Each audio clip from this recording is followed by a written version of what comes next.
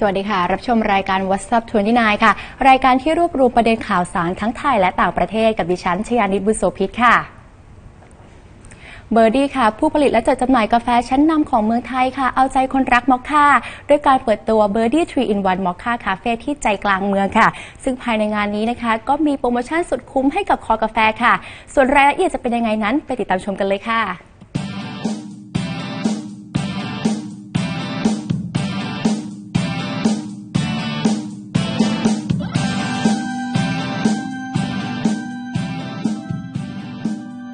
เบอร์ดี้3 in 1เอาใจคนรักมอคค่า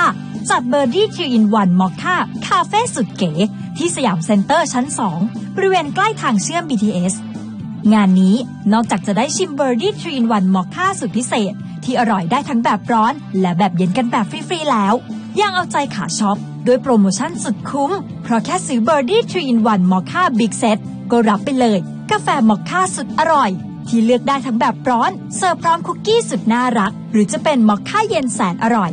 และที่สำคัญยังได้แก้ว coffee jar สุดเก๋ที่มาพร้อมข้อความโดนๆสำหรับคนรักกาแฟ มีให้เลือกสะสมถึง 4 ลายด้วยกัน งานดีๆ แบบนี้มีตั้งแต่วันที่ 21-29 มีนาคมนี้ เวลา 10นาฬิกาถึง 20นาฬิกาเท่านั้น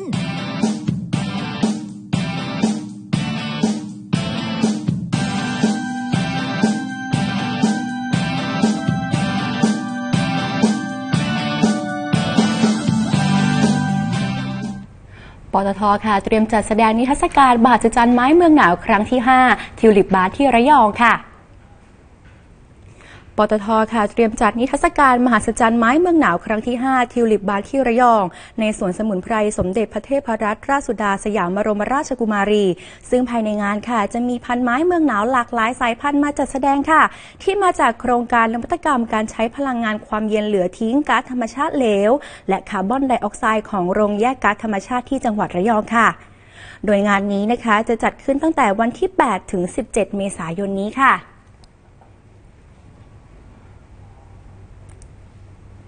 คืนนี้ค่ะ ห้ามพลาดนะคะกับ The Island ค่ะ แหกระหำแผนคนเหนือโลกค่ะ หลังรายการคืนความสุขให้กับคนในชาติค่ะสำหรับวันนี้ค่ะ รายการ What's Up 29 ก็จบลงแล้วค่ะ กลับมาติดตามรายการ What's Up 29 ได้ทุกวันในเวลาเดียวกันนี้ค่ะสำหรับวันนี้ดิฉันชยานิดลาไปก่อนสวัสดีค่ะ